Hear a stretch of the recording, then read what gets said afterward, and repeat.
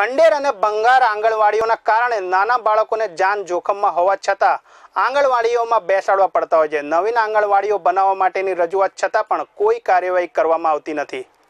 શહેરા તાલુકામાં આંગણવાડીઓ ભંગાર હાલતમાં થયેલી છે.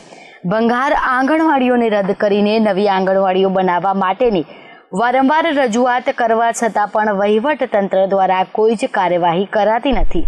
જેના કારણે આવી ભંગાર આંગણવાડીઓમાં બાળકોને બેસાડવામાં આવે છે.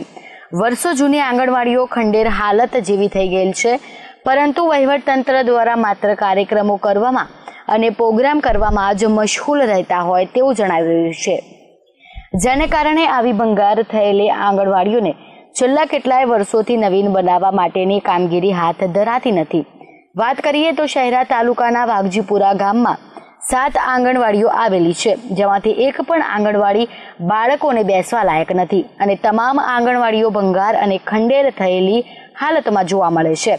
કારણ કે આવી આંગણવાડીઓ બાળકોને ન બેસાડે તો બાળકોને ક્યાં બેસવું? તે પણ એક પ્રશ્ન છે. વાઘજીપુર ખોખરી ફયાની આંગણવાડી જર્જરિત છે. બે વર્ષથી હું પ્રાથમિક શાળાના ઓરડામાં બાળકો બેસાડું છું.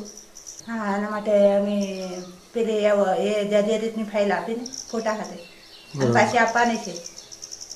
આમ પેલું ગ્રામ પંચાયત થઈને કાલે એમાં ઠરાવ કરી. Umesh Shaikh CN twenty four news Panchmahal.